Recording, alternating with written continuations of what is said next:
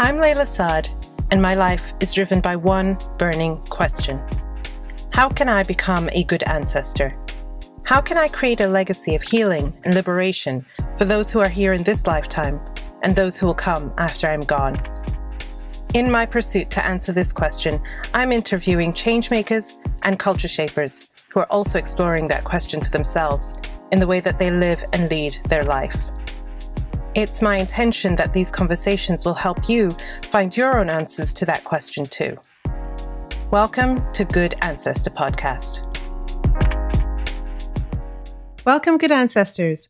Today I'm speaking with the American novelist of one of my favorite fiction books of 2020, Kiley Reid.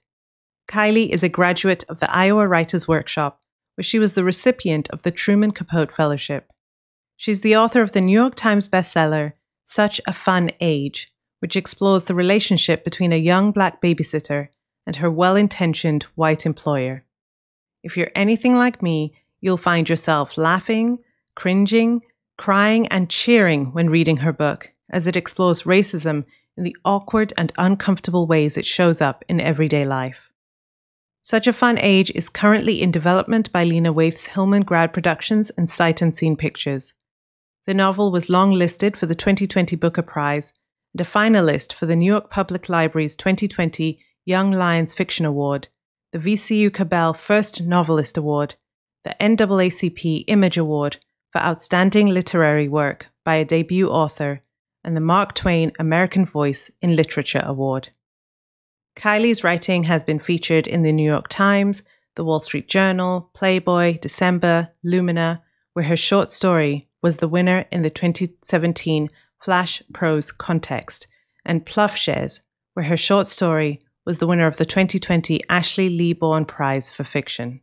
Hello, everybody, and welcome to Good Ancestor Podcast. I'm your host, Layla Saad, and today I am here with the author of, and I know I always say this every time I interview an author, but truly, this is one of my favorite books.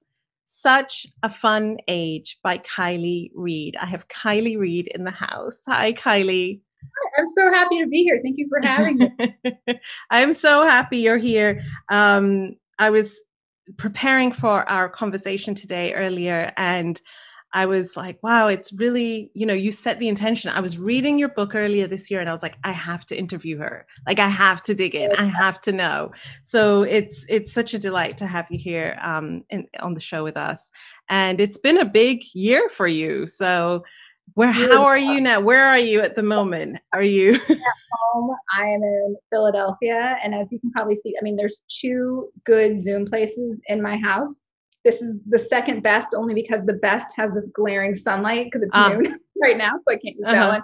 Um, but I'm just here at home. I'm working. I feel like you know we were just talking about our schedules earlier this yeah. year. You and I were both go go go in January for book tour. I think we did. I did 19 cities in January, and yeah. I went to London. And then as soon as the pandemic hit, hit, it was just very much grounded again. And so I feel that you know with the circumstance, the fact that I got had to you know got to connect with readers at all was such yes. a privilege because so many authors are doing their entire tour virtually and so i've had a little bit of both but you mm. know the mm. fact that i can stay at home and try and stay safe i'm i'm good with that yeah yeah yeah i mean i'm right there with you i remember um, coming back from my so i did the us and i did the uk came home within a week we're in lockdown and i remember being so grateful that i had had the chance to meet readers in person beforehand and my heart really went out to the authors who I know, you know, their books were coming out right yeah. at the beginning of COVID and you know, the world hadn't yet adapted to being online. Now we're now we're pretty adapted. Um, but even for a super connected world, you know, especially the publishing yeah. world didn't quite know how to move. Um, but we got it. But the you know the podcast has been running all this time and having these conversations, and so I'm I'm really excited to to keep the conversation going with you here. Yes, yes, absolutely. Yeah. Thank you. Yeah. So, our very first question that I ask each guest um, Who are some of the ancestors, living or transitioned, familial or societal, who have influenced you on your journey? Oh man, I thought about this a lot. too much to say, but it's all a little bit jumbled, so bear with me. Um, I think that when I think to who I want to look to, who's come before me, and who inspires me on a number of levels. Uh, the people who really stand out tend to do three things, and mm. that's one they they have you know a version of the leftist politics that I seek to have of keeping humans and working class people first. Mm. Uh, second, they're amazing writers and just blow me away with their prose. And third, they have a presence that you cannot look away from. That it's almost mm. just a chemical uh, thing happening that they were meant to be speaking on these things. And the three people that I really thought to about this was uh, Fred Hampton, James Baldwin, and Martin Luther King. Um, mm. James Baldwin, in particular, you know, when I'm writing, sometimes I need a little bit of a break, and I always go on YouTube and look up speeches from people. And he's one that I that I always come back to. His presence is out of control. He's just right. so controlled, but blasé yet genius, yet not polemic. There's so many things he's achieving. Um, his writing is amazing. And something I think that his writing does is his writing is not, you know, uh, you know, a preachy. It's no. just telling the truth. And yet he is very outspoken in his politics. And I really like that categorization. And I try to have it in my own life. So I would say that those are three people that I really look to in terms oh, of. Oh, I love that. Who's done it better? and how can yeah. I try? Well, I love that, especially how you've described James Baldwin, because you're right. He does have this, he's very, um, he's, he's simultaneously very passionate and clear and um, has a strong belief in what he's saying and almost has a detachment to it as oh. well.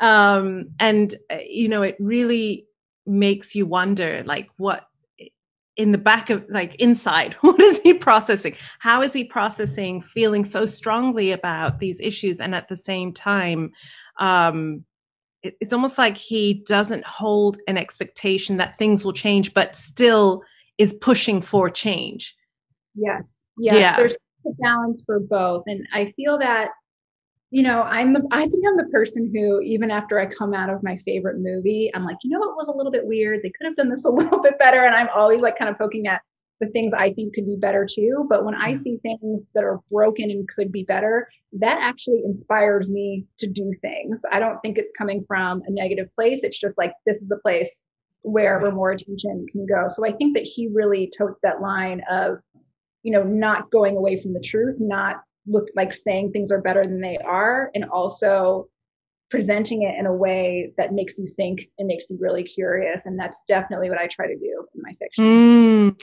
yeah and it's it's so interesting because usually when i ask guests about the ancestors who have influenced them i can see a link between what they're saying about that that ancestor and the person that i know right the person that i'm seeing in the work they're doing in the world and what's really interesting is that um, on the surface, you are very different to the people that you've just right that you've just highlighted. But the thing that sticks out for me, specifically when you when you talk about James Baldwin, is your writing it, like I, I, remember reading it and sort of being like, oh my God, she's saying it. You know, it's like cringy and awkward and it makes you feel uncomfortable, but you want to keep looking at it. Um, T- talk to us about first of all for people who have never heard of such a fun age who i don't know we're on a different planet this year i guess and didn't see it everywhere um, set us up with the with the uh, the setup of the book and then we'll talk about what we're talking about the cringiness the awkwardness yes those are all my favorite things so yes so uh, my book such a fun age starts on a saturday night in september in 2015 we meet Emira Tucker. She's a 25 year old recent Temple University graduate. She is a babysitter. She's an African American woman. She also works part time as a typist. She's at this place in her life where she doesn't know what she wants to do. She's, you know, making the same crock pot meal four nights a week. She's always a bit broke and she doesn't have this driving passion that she's looking to. So she's trying to figure it out. And one night she's hanging out with her girlfriends. They're partying. They're having a good time when the woman she babysits for, Alex Chamberlain, calls her and says, Emira, we've had an emergency. Can you please take our three year old to the grocery store, please? I'll pay you double. She's like, Pay you double? Yes, I'm coming right now.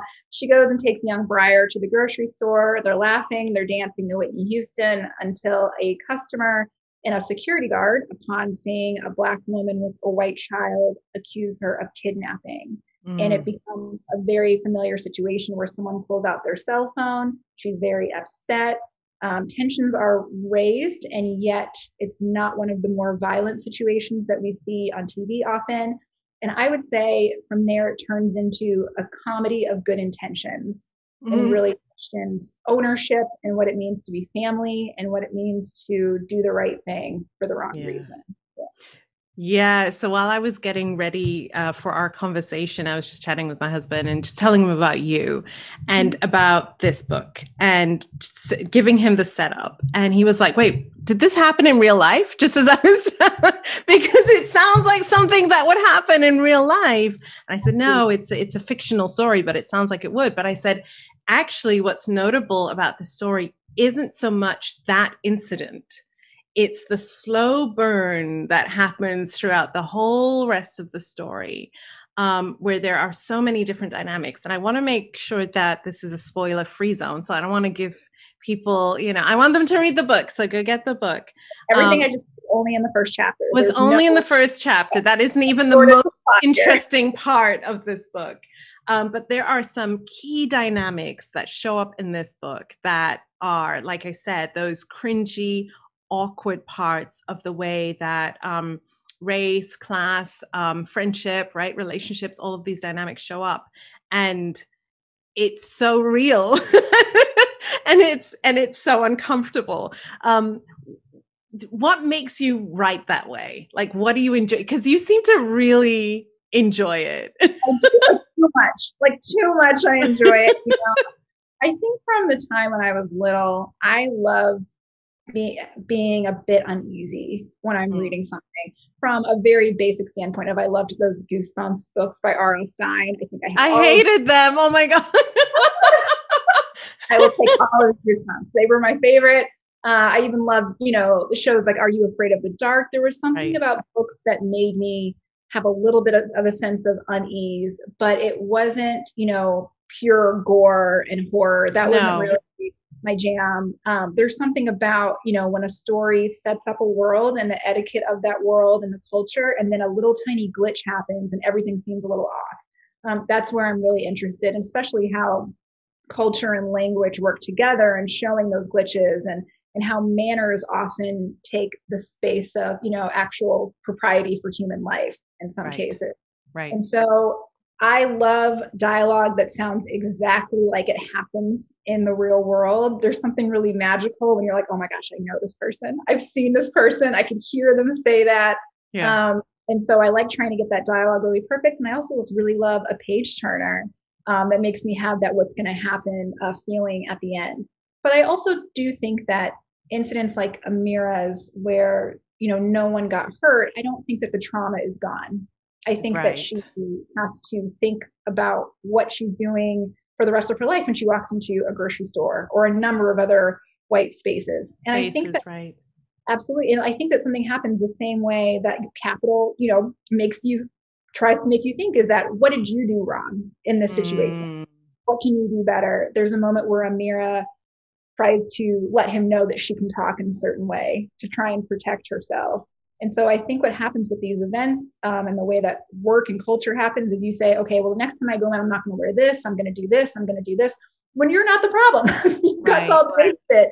The problem is that people see other people in this way. And so it's been a really interesting ride because you know some people will read this book and say it was so cringy i loved it and some will say it was cringy i hate i couldn't right. it was too real and i respect both sides i completely yeah. understand it um, but the the things that i am gravitated towards are things that are so real that they're almost a little bit haunting Yes. So, you know, I, um, before we hit record on this conversation, I was telling you that when I was on tour for my book earlier this year, every bookshop I went to, because I, I pre-signed my books, so they would oh. bring oh. in, you know, the, the, my books, and I would always see another another load, and it's all Kiley's books, just Kiley, Kiley, Kiley, Kiley, and I was very excited every time I saw um, I saw the book. But it, it, it's very interesting being a non-fiction writer who writes about white supremacy and yourself being a fiction writer who is in one part writing about white supremacy and obviously other topics and themes as well. Um, I was recently asked in an interview, you know, do you think that um, for people who have white privilege, who are wanting to learn about racism, that you know nonfiction is more helpful or fiction is more helpful or, mm-hmm. or both. And i said no, both. And poetry add poetry to that as well right? All aspects are important because there's something that fiction can reveal in the nuances and the complexities that nonfiction cannot i believe.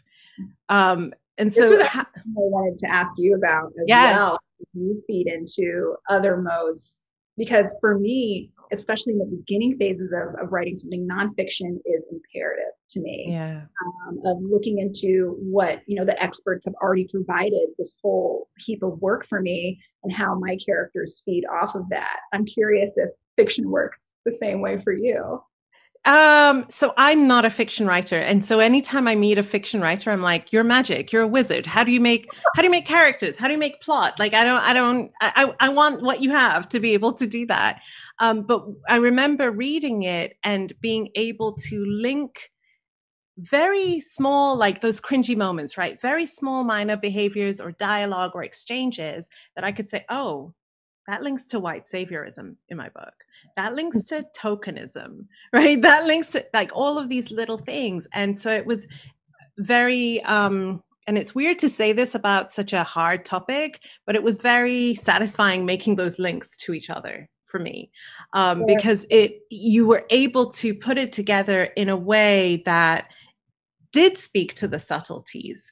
And I think so often people think about white supremacy and racism as that event that happens at the beginning of your book yes. only, and not as the daily interactions, the daily microaggressions um, that happen between people who are not necessarily enemies, right? People who work for each other, with each other, are in relationship with one another.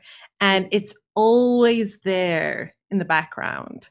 And I feel the almost the always there is often harder to deal with than the event that happens. Uh, something that has happened on tour, which I completely understand, is is people often ask me, "Have you had a big event like this in the beginning um, that you were were feeding from?"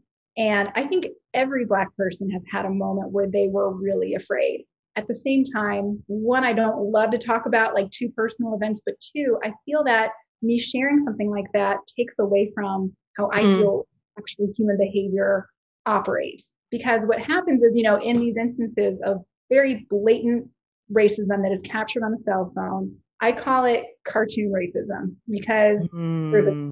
person to root for. There's someone who's saying the N word and who's so outrightly insane right. and bigoted. And that's very harmful in its own way. But it's often presenting a Black woman who is ready. She's had enough. She's yes. ready. She has time that day, and that is it.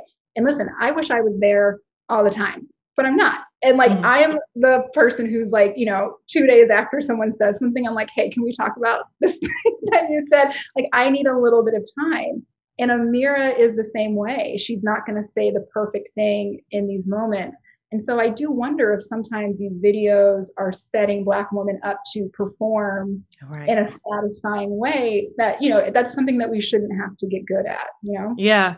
What I found really interesting about Emira was that one of the things I found interesting about her was that she really, you know, somebody was taping this um, interaction that happened and she really didn't want it shared. She didn't want it out there. She didn't want, it. she didn't want that. And, um, I think so often, and we've seen it this, we're recording this in 2020. We've seen it this year in a big way with the murder of George Floyd, and that if it's on camera and we've seen it that there's proof then then we can give our sympathies. Then you know people who have white privilege or who are not black can say what a terrible thing that happened. Um, and and to what extent to, do we then start participating in our own traumatization of saying i have to show here's the proof it happened to me. Right and how and there there are so much bigger instances where it is impossible mm. to show the how do you show the proof of a doctor not listening to you or how do you show the proof of you know a housing application not being accepted because of your last name when your other friend would. There are so many issues of huge white supremacy and, and, racism that are so ingrained in the systems that they came from that it's impossible yeah. to show that proof. And so just saying, oh, look at this film, you know, I'm not sure if that always sets us up properly to see racism for what it is. That being said, I would pull out my phone if I felt scared too. Sometimes that's the only yes. justice that you have, but right. But I also wonder about what that's doing to to other issues. Yes, and you you speak about, and I've heard you talk about this in interviews that while um, that incident at the beginning of the book, and even some of the uh, personal interactions, maybe things that we can point to that we can say, oh, that's a behavior, or that's something that was done that was wrong. What's lying under the surface is actually the underlying systems of um, classism and racism, institutional racism that Emira um, is having to face on both fronts, right? Um, can you speak to uh, why it was important to not only speak about race, but also class as well? Oh, yes. I mean, I could go off on this. Yes, this is all my favorite stuff. Uh, I just feel that it's, it's a moot point to talk about race aside from class because I think that they feed into each other. I think they come from one another. And I think that at the end of the day, money is power. And mm. so if, you know, I think that now we are in an area where it's very, very easy to point at systems that have helped the black bourgeoisie and elite, you know, also operate in white supremacy as well. Yeah. And so in that, I can just, for example, in that first scene, so much of Emira's, you know, incident is because she's a very dark skinned woman, but also there's her hair, there's her mm. clothing, mm. there's the way that she speaks, um, there's her friend that she's with. All of those things are little class indicators that dictate how people treat her and what they feel she's deserving of as well. Yeah. And so, you know, Alex, I would say that Alex, the woman that she works for, doesn't have a problem communicating with Black people who are in the same class solidarity. I think that she has a problem dealing with a low low income black woman who is depending on her for a number of reasons. One, she doesn't have that many people low income in her circle, but two, she's faced with the fact that not only does she rely on Emira, but Emira relies on her, and she mm-hmm. doesn't like that pressure. And so she's like, uh, "Let's be friends. You're not my employee. Let's be friends." Right. In a very awkward way. Um, and I think that you know what happens is when you are denying your employer role then yeah. you don't give the benefits that an employee should should like. You know, I had a lot of service jobs, and the best ones were the ones where my boss was saying, "It's five o'clock, go home." You know, you need this. Right. Make sure you're taking your time off. Um, but when someone like Alex is saying, "Oh, do you want to have a glass of wine with me? Do you want to hang out?" Right? my friend, you end up with this young woman who thinks, "Ugh, I don't want her to think that I'm like not a friendly person and that I right. don't want this job and and that's where more emotional labor comes in the relationship between emira the young african american 25 year old woman and alex her white uh, middle class uh, employer um, is the like one of the most interesting things that I've ever read. Um, simply because I think uh, I know I know that I know I you know, not necessarily because I've been a nanny working for a white woman, but because of the ways in which Alex was doing mental gymnastics to try and figure out how to get this young black woman to like her and be her friend. Yes, I I it was that was one of the joys of book tour in January. so many black women coming up to me and saying, I'm going to give this to my coworker, Amanda, because she needs it. uh, because, I mean, I feel that this is a familiar person to a lot of black women, especially domestic workers in white spaces. Um, that person whose compliments hurt a little bit, that person who you can tell that they feel if I can get this person to like me, that means I'm doing a good job. I need that right. person to me for my validation. And yeah, Alex, she makes a lot of mistakes in that department. Oh, it's the worst. Um, one of the, you know, every time you read a book, there's always a moment that you you read a certain passage and then you have to put the book down and, then, and then reread it a million times over, right? And the, the passage in, in, in the book, and I can't remember the exact word that was used, but there was a, a passage where um, Alex and Emira are having a conversation, and Emira uses a word that Alex didn't expect her to use. I can't remember what the word was. Can you remind me? Connoisseur. Yeah. Connoisseur, right? Connoisseur. And Alex, inside of herself, registers that, oh, I didn't know that she knows that word, and then checks herself. Why would I expect her not to know that word? And it made me read it and read it again. I think I shared it on my Instagram stories because it was just, it I was, love that. it was so good because when I did the Me and White Supremacy Instagram challenge and we did the day on Black women, there were so many revelations from white people, white women, especially on presumptions they have made about black women and about how educated we are or how um, uh, able to express ourselves articulately in quotes um, and and so i read it and i was like this is this is real like i know it's real because i did the challenge and i saw it but here it is in a fiction story uh, so many of us are experiencing these daily interactions of people undervaluing or under expecting from us and Yeah. yet we're also expected to work twice as hard just to Yes. that, is, that is it. That is it. Precisely. And it's kind of astounding that it works so easily with the under expectations and then the over expectations. It's, right out of control. And I can't tell you how many podcasts I've done in presenting this book where we get done and a white woman says, oh, You were so articulate. Thank you so much. And I think about it and I'm like, I'm a writer. That's it's my job. it's literally my job you know, and I would, you know, if you were inter- inter- interviewing a scientist, you would say, you are not so scientific. That's amazing. Like, it's Right. just so, so strange. And yeah, Emira and Alex, Alex is really dealing with all of these emotions in real time. And she is, you know, like a math game, like saying, like, okay, well, how does a person who listens to this music also know right this word and, and it doesn't make any sense to her but i think for a lot of you know black women it's it's so simple. This is my work life which is a white space and this is my home life where i get to do whatever i want.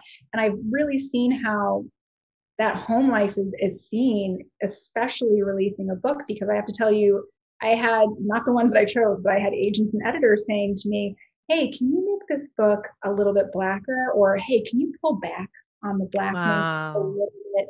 And for so many people i think it was impossible for them to hear black women speaking in the way that they do at home having fun and also see this book as literary when Wow. those things are not working against each other. Yeah. And so it was a really big lesson in again just telling the truth and hoping that the people who are also looking for that truth will understand it. And I, i'm happy to say that my agent and editor really understood what i was trying to do i'm and so didn't tell me glad to urban anything up at all. yeah i'm Yeah. so glad um you know uh, code switching is is a real skill that It we yes that we that we have to develop and i'm thinking about what you were saying about um it, i think in another interview you were talking about this is also like one of the oldest stories of time which is black women being domestic care workers for white women's children and it was the same then right of at when you're caring for the child and you're in the you're in your employer's place um, whether they were paying you or not you had to be one type of person. And then when you go home with your own family you're a different type of person. What do you think that does? Oh man. because we can we can we can talk about how it's a skill right? And it's a really it's a cool skill to have but it also is doing something to us. It is 100. That's a great question. It's 100% doing something. And I'll tell you, there's a little interaction that I had that this reminds me of. I think you know I used to be a nanny for a long time. Mm, And I was with a little girl for four years. I was very close to her family. But in the beginning, I think she was maybe three years old. And we spent a lot of time just one on one, just the two of us. And we would play this little like pillow fighting game. This is so silly, but she loved it. we would play pillow fighting game where you know I would say to her, "Come on, girl, what's up? What you got? What you got?" And she would hit me with the pillow, and I would fall over, and she thought it was hilarious. Okay, so that was just our little game that we would play in private. I Mhm. take this girl to a play date, and I hear her playing a pillow fight game with her friends. She's white and she says to her friends, Come on, girl, what you got? What you got? And I heard it, but I panicked. I thought her parents are going to hear her talking like that and they're going to say, What is that? Where did you learn that? And they're going to get mad at me. Mm. And when I think about that, that is heartbreaking because that is mm. me at my best. Playing with your child, she's safe, we're having a good time, I'm making her laugh.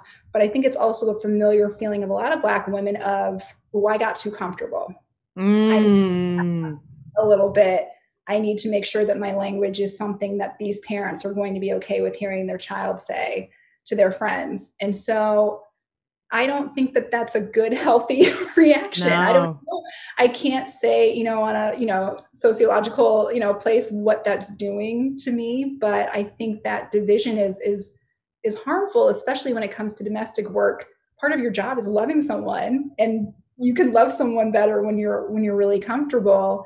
And yeah. I, I, remember that moment of feeling like, okay, you got too comfortable. You have to be cool. You can't talk right. to her like that. Right. Um, and, really and it's, you know, we're not talking about, you know, um, how we have to show up at work in a, you know, professionally. This is not about that. This is about actually masking who you are, right? This is about being afraid that who you are um, is dangerous to other people and will be judged in in an inferior way. I right. often think about the amount of energy it takes, you know, that we expend to categorize ourselves in this way for our own safety and just not having to deal with white supremacy, right? Not having to deal with all the stuff, but where yeah. does that energy go and what can we do with it?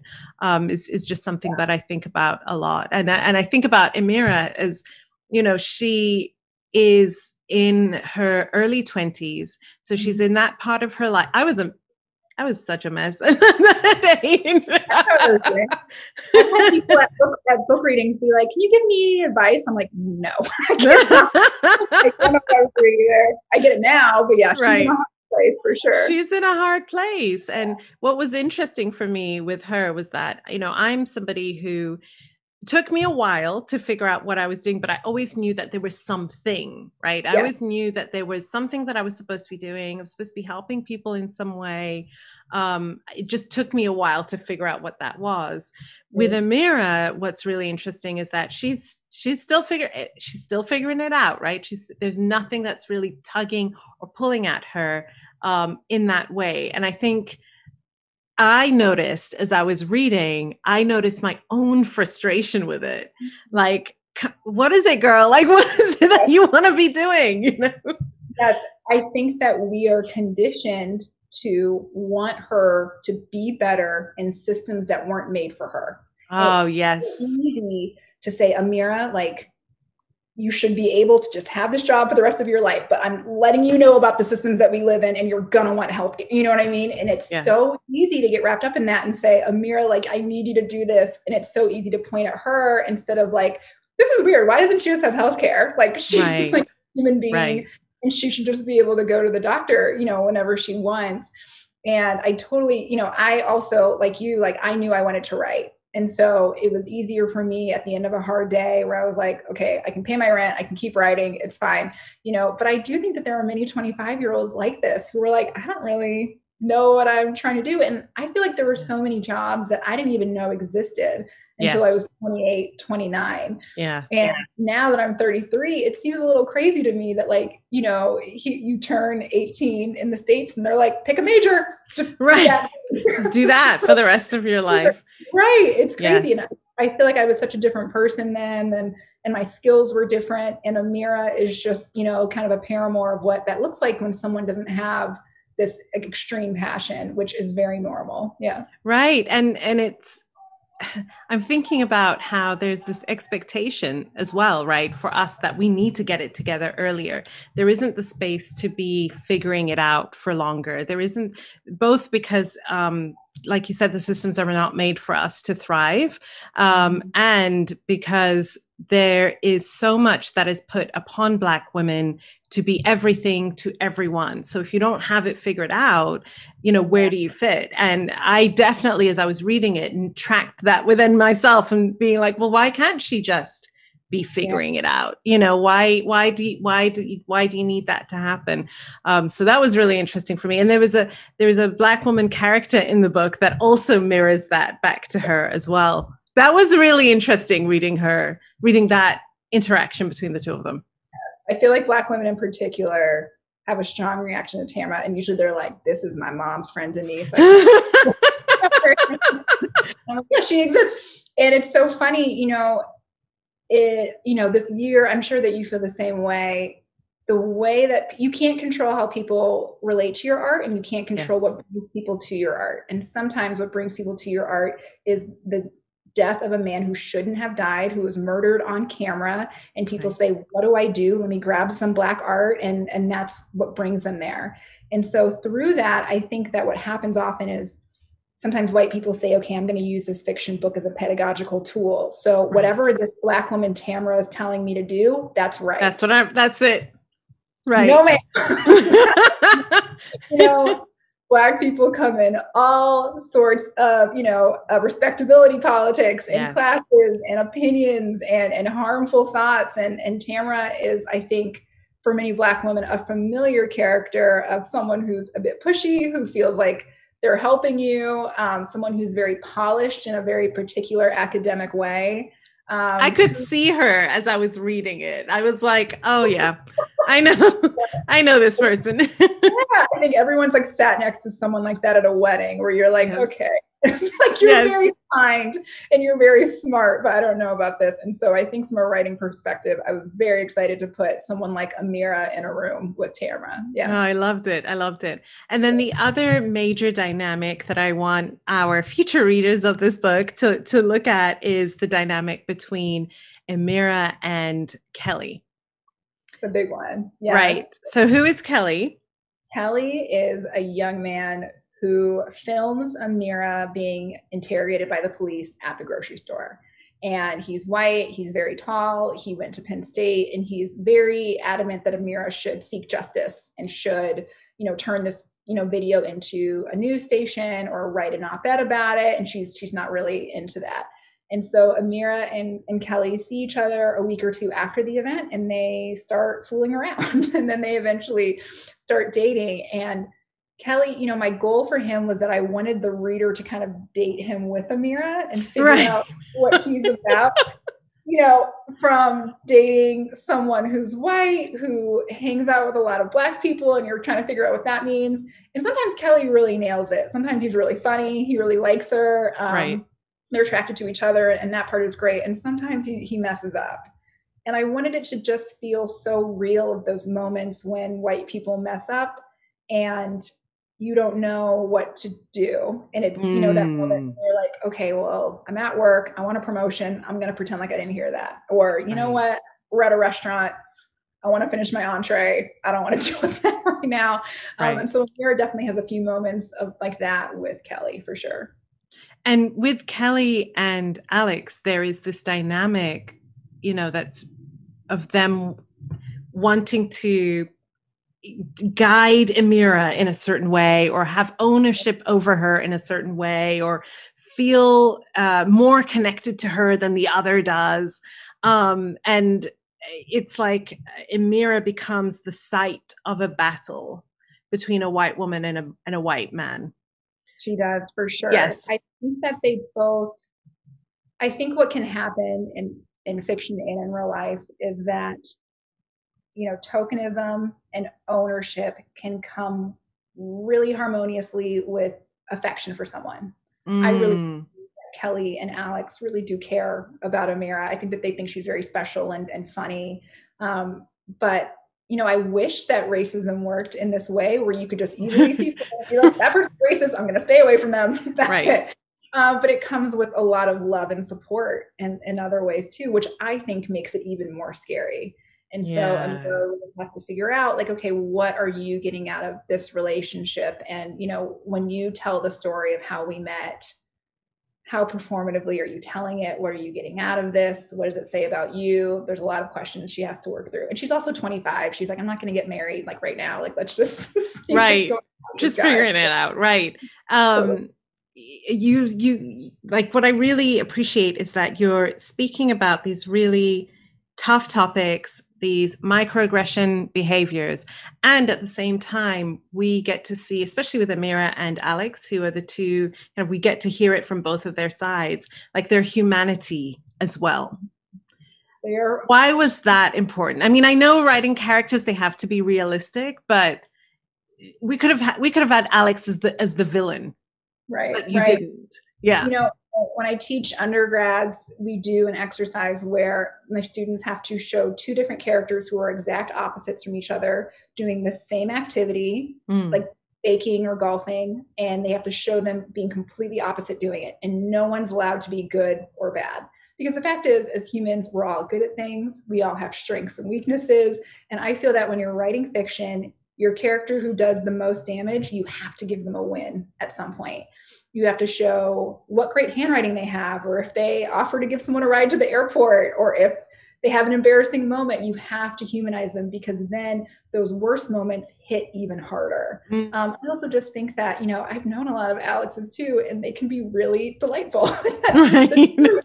um, you know, especially right. when you're working and trying to advance in your career, there's a lot of people who, like, even if their attempts at helping are not exactly you know only for you they can end up helping you that's just the reality right. of how it works and so it was really important for me to not just you know poop on alix the whole time also because when you're writing a book you're writing it for like three years so you have to like the people a little tiny right bit. right yeah. so this is a great way this is a great part for us to segue into your journey as a writer now, sure. this is your debut published novel, but not your first book. Yeah. And I feel like this is really important to say because when you hear, oh, this is their debut book, right? This is their debut novel. It makes it seem like, oh, Kiley just woke up one day and was like, I'm going to pen a best selling book. Thank you for saying that because I, I know it's it's my first published book. It's maybe my eighth or ninth novel. This is just the one yeah. that made it. And I, it sounds trite, but I truly believe that those bad novels that will never see the light of day are informing my writing now and helping me understand my obsessions and my tendencies and my bad mm. habits and how to get rid of those. Um, and so, yes, this is the first. This is the first good novel, is what I like to say. yeah. In those um, first eight, eight or nine novels, what were you working through and what were you discovering about yourself and the way that you like to write?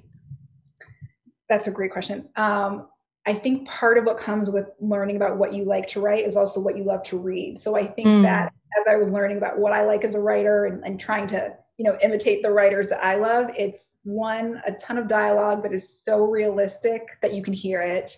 There's a rhythm and a science to the words that you're putting on the page I didn't understand that I was interested in writing about class until much later when I was in mm-hmm. graduate school and had the time to read nonfiction and the experts who were doing a lot of the work for me.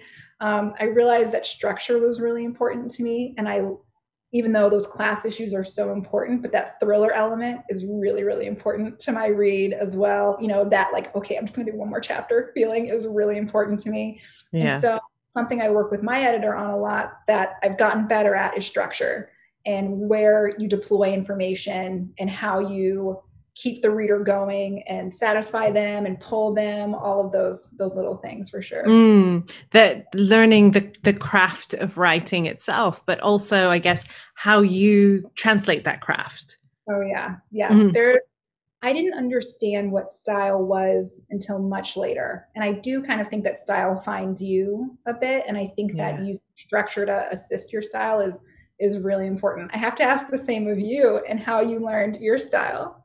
Oh gosh, I think it's the same thing. I, re- I remember a couple of years ago um, when I was like, "Oh, I think I think I'm going to be a writer. I think I can do this. I really want to do this." Um, but looking to everyone else, right? How do they write? How do they do it? How do they do it? And. Thinking that if I could just take the best parts of the way that I see my favorite writers show up and mash it all together, that I'll make something that is me, right? And it just it just doesn't work that way. Um, I think so much of it is the internal work of self discovery, self acceptance, self love. I think it it it there's an energy that shines through on the page that comes from a deep connectedness with yourself. Like obviously, you know, your editorial team and everyone helps to shape it and make it this masterpiece. Right. But they have to work with the material that's there. And the material that's there is not just the words. Yeah. Also the the like the blocks that you built one on top of the other to build this foundation of who you are. Um yes. and thankfully we kept we keep getting better because we keep building that foundation. We keep growing. I i that was something that i never thought about while writing a book how magical it is to find people who want and understand the spirit of what you're writing and to how to how to meet you where you're at and make that the best it can be wherever yes. it is. Yes it's yeah. very difficult but then it's it's really magical at the end. Yeah. I'd love to speak about especially for our listeners who may be writers or aspiring writers especially who may be people of color about um, your journey as an author, as a Black woman, um, a person of color.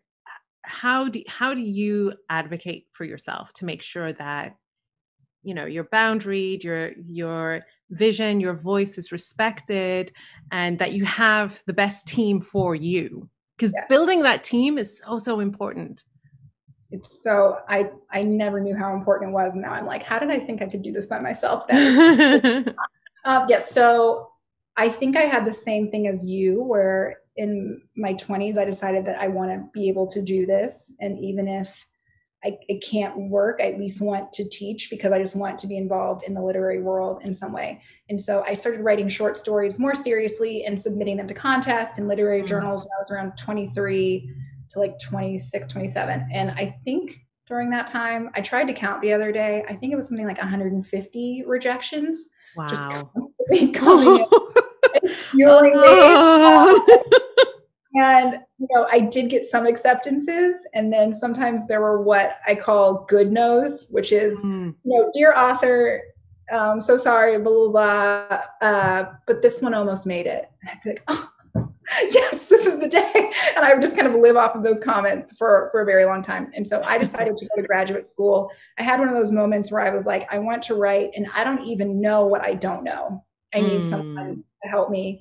And so I applied to graduate school and I was working as a receptionist at the time and I got rejected from every single school. And it was heartbreaking. Uh. It was really I was like, do I just, what do I do? And so at the time, my then boyfriend, now husband, had a job opportunity in Arkansas, and he said, "Do you want to go have a reset? It's really cheap to live there. You can try again." And I said, "Let's mm. do it. Let's go to Arkansas." Arkansas is beautiful. I don't know if you've been. It's really, really pretty. It's quiet. It's cheap. I got a job as a barista at a coffee kind of bodega shop. I got another job at a very scammy website that I should not have been working for, but I was very broke and I just kept writing. And I applied to graduate school again. And the second time I got into nine schools. It oh, just wow. having that space just to think, you know, yeah. made all of the difference in my writing. And so I had about 100 pages of Such a Fun Age then, and I took them to graduate school. And I was kind of crazy about finding my readers. I just wanted to find people who would be my readers for the rest of my life. And I'm so happy to say that I have three women who are just wonderful and mm-hmm. they do not tell me everything I write is great. Sometimes they're like, this ain't it, you know, or right now I'm writing something where I have a character who's kind of like me, but her humor is not like me. And my friends constantly like, ah, this is you, this is not her. Like you need to pull back. And so mm. was really, really important. And then connecting with two professors who really helped me with my writing. I think graduate school is wonderful if you can do it. I don't think anyone should go into debt doing it. That is my hot take. I think someone should pay you to do it. Um, but graduate school is really wonderful. And from there, it's just having friends who keep you accountable, I feel, and keeping yourself accountable. Um, I feel that vague uh, goals don't really work for me. I feel like mm. saying, I'm going to write more this year is a little too vague. I think it has to be I'm going to get 500 words on the page every day, no matter just numbers. Mm-hmm. Numbers are really, really important. Um, and from there, I mean, just trusting the experts. Feedback is so important. You really can't write by yourself. You need to make sure what's happening in your head is what's happening on the page. And I think that's often the hardest part, right? Because you have this vision of what you think it should be and how you, you know, and, and people are saying, no, maybe it should be this way, or I don't like that. Um, how do you build up the resiliency to hear that and to keep moving forward? I mean, I mean, it's such a tricky balance between one trusting your gut and writing what you're obsessed with and two finding people who are going to serve the story always and believe it, the best thing is like when someone says like oh why don't you just have her come in the left door? And you're like oh i'm an idiot. Of course i should do that thing that they're telling me. But sometimes they're like i don't think you need this part. And i'm like mm, no i'm hilarious. Like i'm keeping it. Like, a little bit of a balance. And but then if someone else tells me i'm like okay i have to cut this. It's such a balance of of give and take. Um and I think that I've gotten better at it. I think that I know who to go to for what. I have a friend who's really good at structure. I have a friend who's really good at grammar. Mm-hmm. I have a friend mm-hmm. who's really good at finding patterns in my mm-hmm. work. So it's using all of their strengths to my writing. But honestly, I think it's what you were saying before. The more you're writing, the more you know the spirit of the thing. Yes. Um, just trusting yourself over yeah. and over again which is not easy. Yeah. No, it's not. But I, I love that we're having this conversation around, you know, that it's not just Kiley you know, who, yes, you are the driving force behind it. You're the one who laid the words down. You're the one who visioned the characters and molded them. But mm-hmm. without the people around you who are your support network, whether it be personally or professionally, such a fun age wouldn't exist in the way that it does. And so often when we think about good ancestors, especially those from the past who we see as these, as these icons, these trailblazers. We see them as the, this one individual, like this iconoclast or this pioneer, um, yeah. this this leader who just stood apart from everyone else, and we discount or we don't highlight, celebrate, appreciate everyone else who is making sure that they are able to do what they are doing. Um, those behind the scenes people are so crucial to all of it. Yeah. Yes, 100%. Like, and I also feel like I'm someone who, when I'm not writing, I don't, I like working behind the scenes too. And those jobs are, are very, very fruitful when you feel like you're part of a community. Mm. And so mm. those roles are so important. And yeah, there's so many, you know, it's, it's, I don't know if you feel this way too. There's so many lines that I can point to in my book where I'm like, oh, that wouldn't have existed if I hadn't heard this thing, or if that wouldn't ah, yes. exist. Yes. It's just so touching. I remember one time my husband came in the room and said, did you know that George Washington's teeth were made from slaves' teeth? And I said, well, I had no idea. Right. And that inspired a short story that ended up getting me into Iowa. Like wow. just that journey of yes. like we need each other. I mean, it sounds so cheesy, but community makes art. It's so, so important. Yes, I love that. Um, so where you're at right now, you have, like we said, it's your debut book, not your first book, but your debut published book. But this year, you were really thrust into the limelight in this huge way. And I presume have been on this massive roller coaster. Um, are you comfortable on the roller coaster? Do you feel that you're driving the roller coaster? Somebody else is? Do you want to get off the roller coaster? What, what a fantastic question. Uh, it depends on the day. Uh-huh. I will say that, um, you know, my publishing team, I want to work with them again and again. They're so lovely and just hear me and understand me. You know, from the very beginning, you know, when we were talking about Black people doing, you know, twice the work, which right. I think happens in publishing. When I came into my first meeting with my publishing house, I was like, listen, I want to make sure this book gets into the hands of Black people. I want to make sure that I launch at a Black owned place. And even though that's extra work that I did, they were like, done, done, done. What else can we do? Let's let's go. Um, and so that has been wonderful. And I feel like they're on the roller coaster with me for sure. Good. On another level, you know, writers are used to being by themselves. Right. So, what are what am I doing here? And so I'm the kind of person who I like categories and I do like setting up boundaries. And so mm-hmm. I don't feel like they're restricting. I feel like they're almost like liberating a little bit. Definitely. You know? Yes. I sat down and I said, okay, what do I, what are my boundaries? For me, you know, I don't tell, you know, super personal things about my family because they aren't, they didn't write the book, you know, like they didn't ask for any of this. Um, I don't particularly like sharing things about my home or my space, um, mm. which I think like, you know, I will definitely click on like, oh, this writer's desk or whatever, but I'm just not really into showing that for, for me. I kind of like to pretend like I have a mascot hat on and I don't like to take it off and have anyone like see me smoking a cigarette backstage. yeah. yeah. Yeah. I think having those but I mean, I'm huge on boundaries, so I'm right there with you. But I think being thrust into the limelight by something that you know you want to, you want it to happen. You you've poured so much of yourself, your energy, your creativity into this book. You want it to do what it's doing in the world, and there's always this tug of like, but I also just want to be in my hermit cave writing and being alone. So good. I also think something that's interesting for fiction writers too is you write a book and then readers come to you and say, okay, so you talk about themes of domestic work, which means you're an expert on mm. domestic work. Mm. Now we're going to ask you, and it's like, no, this book shows that I'm interested in it.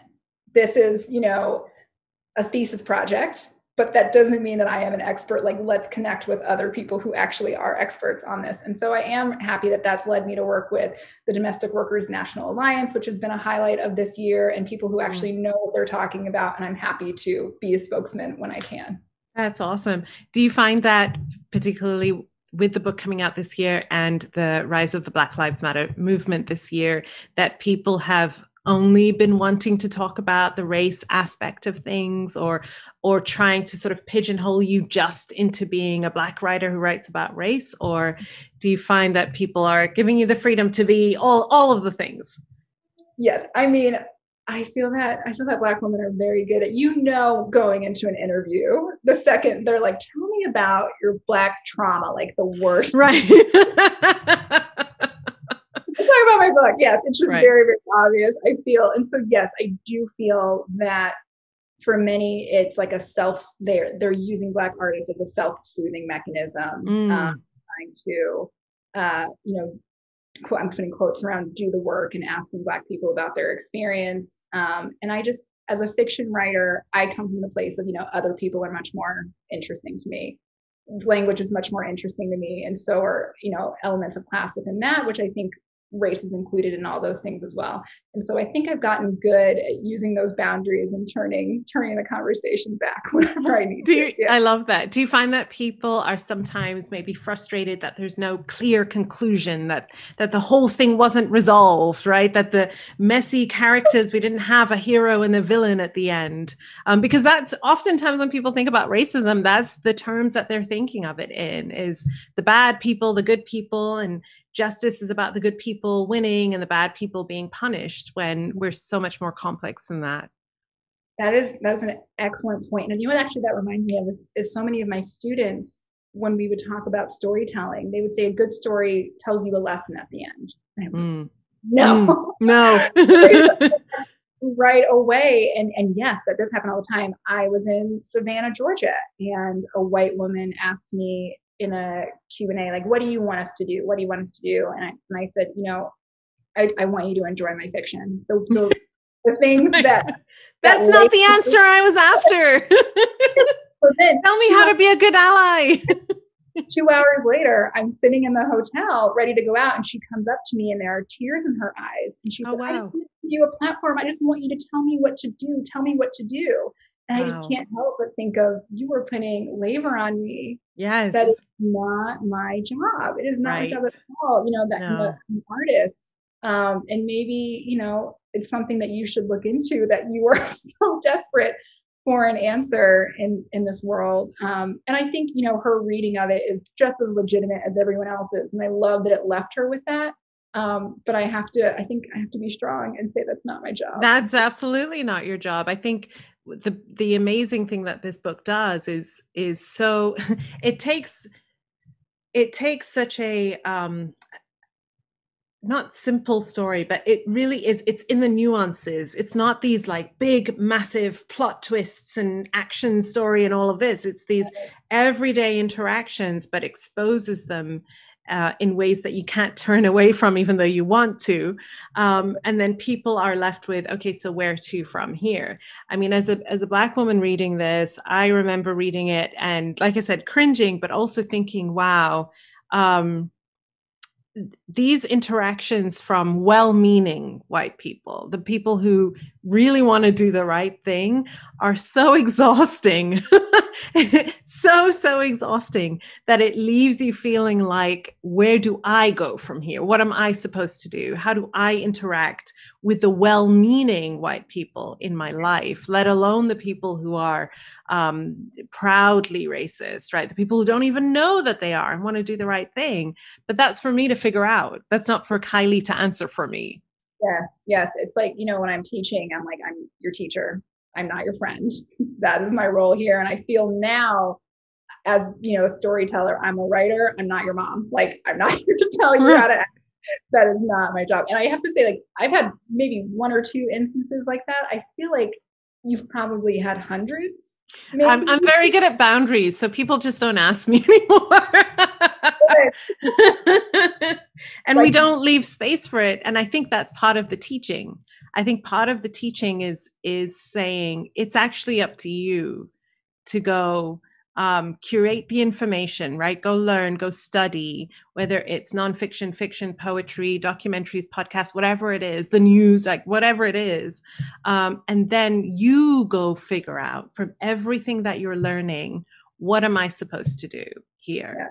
Um, because we we can't we can't do that. And like you said um, earlier, this we come in multitudes uh, as as black people people of color we come in multitudes. We all have different opinions. We all have we Kiley might advise one thing i might advise another another person might advise another. None of us is the authority on what it means to to to you know show up in anti-racism um, for each and every single person. But yeah i, I imagine that's um, a burden that oftentimes people want to put on you. And I'm so glad to hear that you give it right back. Say, that's not mine. Boundaries. That is not mine. I also just think that the second that I give into that responsibility, I take away from the enjoyment of storytelling. Mm. I don't. Mm. If you are reading my book thinking, okay, how do I do this? Oh my gosh, I had this woman DM me and she said, I'm really trying to learn and I picked up your book and I saw that the white woman in it had divider plates for her child. And I said, okay, it's time to learn. So I threw my divider plates out. I was like, what? What? Don't throw your plates away. it's crazy. Like you can't just wow. think, oh, the white woman's bad because of everything. Like that is that's not a way to read wow. a book. So I think that when you were approaching black art, approach it as art and just say, let me yes. see how this affects me. Let me see how yeah. I feel on this page. Maybe I'll feel different on another page. Yeah. You know, maybe I'll be rooting for someone one time and not the other. I just yeah. let yourself experience it. it yeah.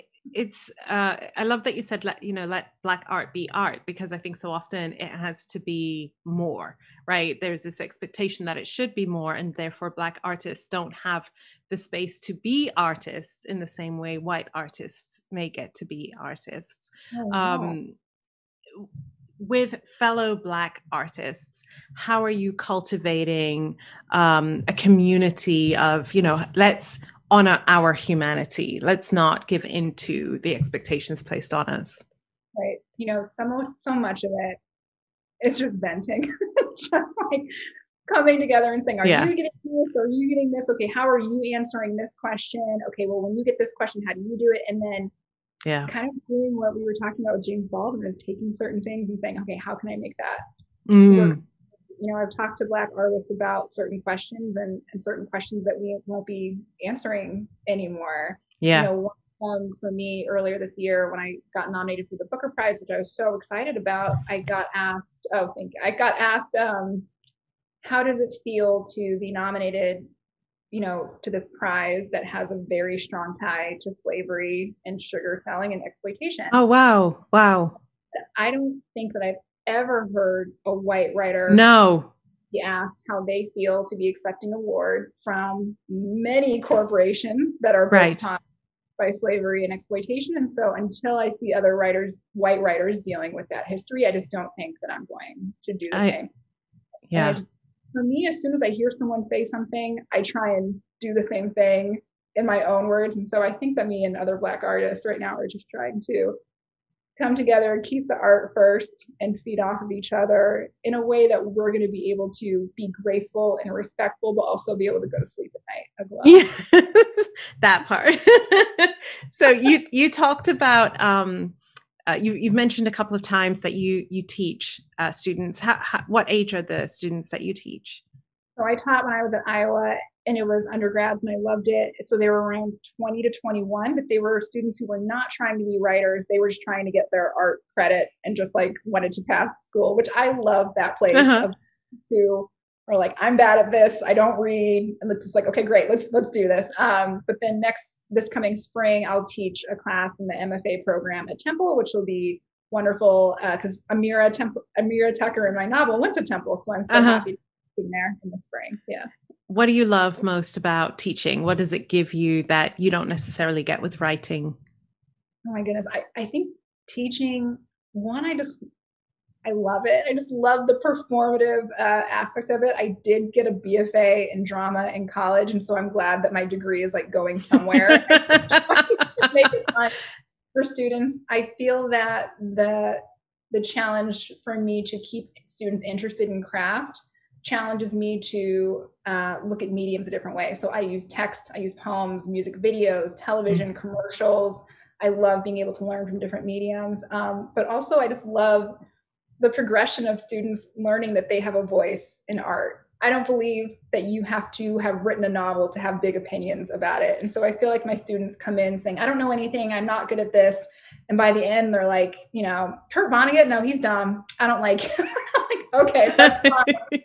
I love seeing those opinions on art grow and, and just seeing students who usually don't read realize that they have a space in art too. That part too mm, I love that. I love that so much. Um, so, uh, w- with your students knowing that you are a best-selling author, uh, nominated for the Booker Prize, I mean, does that ever get in the way of them being able to just fully absorb um, what you're teaching? You know, no, they they don't care. they don't care. I love it. Uh, when I when I've had the opportunity to teach this year, which has been great, it's it's kind of this great humbling thing. Like they do not care. They're like, "What do you have to offer me?" And it challenges me, you know, to yeah. something them.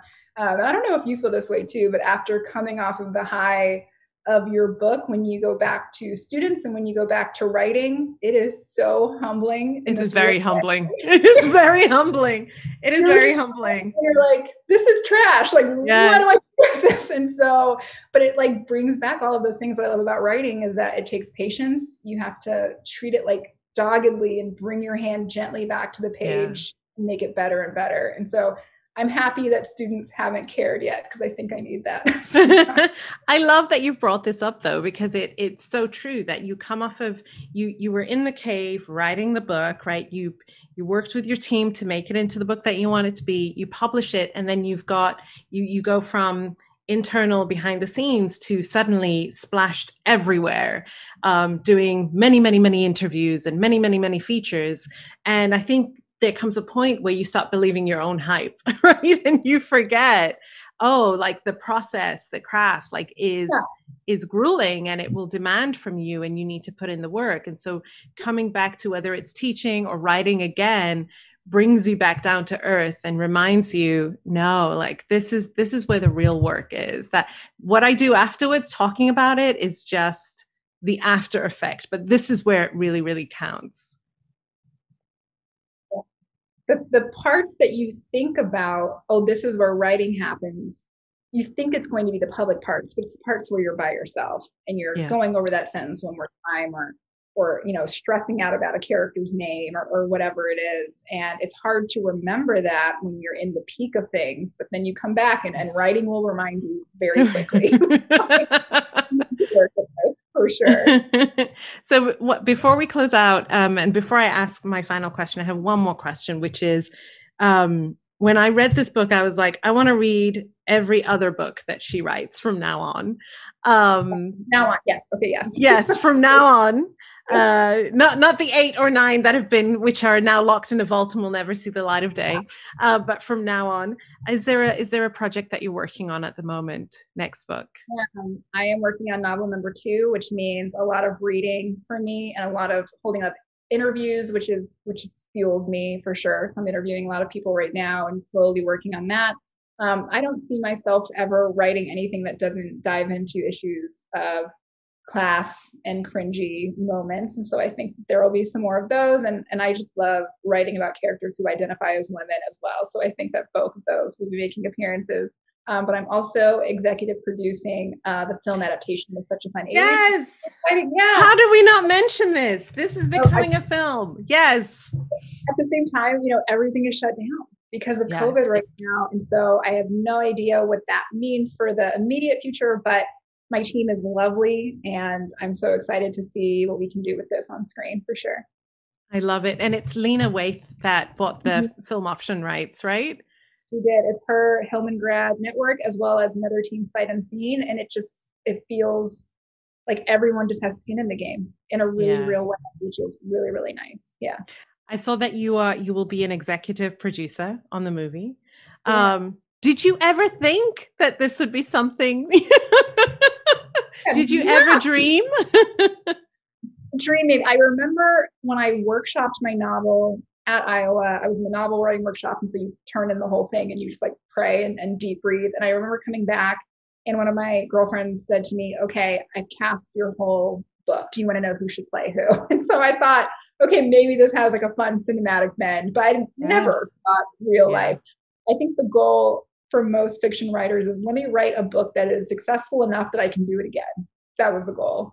Uh, so the fact that this is happening is wonderful because I really love film and I'm excited to see what we do. Oh, well, I'm so excited for you. I definitely saw it as a film when I was reading it. Um, was very excited to know that it is becoming a film. Cannot wait to watch it and can't wait to read more of your books as well. Kiley, thank you so much for this conversation. Thank you for this book, which was just such a delight to read after my tour and is something that um, uh, I'm definitely recommending to people. Um, I really enjoyed this conversation as well, and just hearing about all of these different dynamics of the characters, but also your journey as a writer. I know that there is so much more to come from you, and I'm just going to be there on the sidelines cheering and asking for advance copies of every book you read. to have your eyes on. This was really lovely, and it's so nice. It sounds crazy, but it's really, really nice to talk to another black writer about things like boundaries in a way that is hopeful and positive and showing all of you know the benefits of those things this has been really definitely thank you all right my love our final final question um, what does it mean to you to be a good ancestor i thought mm. about this hmm. this might sound crazy but when i thought about being a good ancestor there was something i thought about all of my days of, of being a nanny with children that I, I became really really close to I do not like bugs at all. Like if I see a spider, I will scream. I don't want to see it. Like I just don't. And there was a weird loving feeling that I experienced when I was with children where I did not want them to see me be afraid of something. And wow. loving a child, I thought I don't want them to have the same setback that I have. And I'm going to use my love of this child to be brave in wow. this moment. And so I thought about for me, you know, being a good ancestor might be not passing on my fears and using my care for someone to to be brave in those moments. And so a spider is a tiny example of that, but I'm sure there are bigger, bigger ones where, you know, using your care for someone to not pass on your fears. That's mine. I love that. I love that so much. Thank you so much, Kiley. Thank you so, so much. Thank you for having me. Thank you. This is Layla Saad and you've been listening to Good Ancestor Podcast. I hope this episode has helped you find deeper answers on what being a good ancestor means to you. We'd love to have you join the Good Ancestor Podcast family over on Patreon, where subscribers get early access to new episodes, patron only content and discussions, and special bonuses. Join us now at patreon.com forward slash good ancestor podcast. Thank you for listening, and thank you for being a good ancestor.